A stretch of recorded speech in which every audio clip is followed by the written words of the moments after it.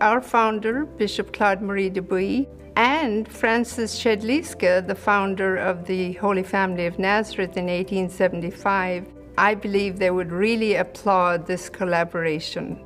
We support the Sisters of the Holy Family of Nazareth as an additional sponsor of Christus because of the international nature of Christus. The reason we have been able to grow internationally is because Christus is a firmly anchored U.S. ministry.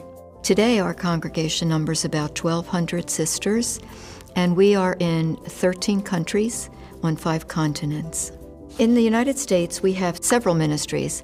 Holy Family Institute was begun in the late 19th century. It started out as an orphanage and today it has a lot of programs for children, for uh, drug dependent and alcohol dependent uh, folks, also uh, counseling services. Um, and just in the last two years, we've established on the property um, Holy Family Academy, which is a school modeled on the Cristo Rey model. And it's, it's really flourishing. It's, it's a wonderful opportunity for the inner city uh, children to have a good education, and we're very proud to belong to the Christus healthcare system.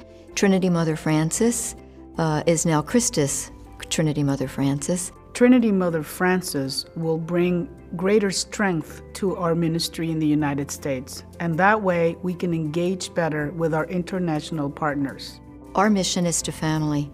Um, we have a saying, and it's in our Constitution, and it says that we'd like to enrich the world with the Spirit of Nazareth. We look forward to really being brother and sister, just like the Holy Family of Nazareth, to each other, and to really reaching out to the world and to extend the healing ministry of Christ in very enthusiastic and renewed ways with this wonderful base of spirituality and charism together.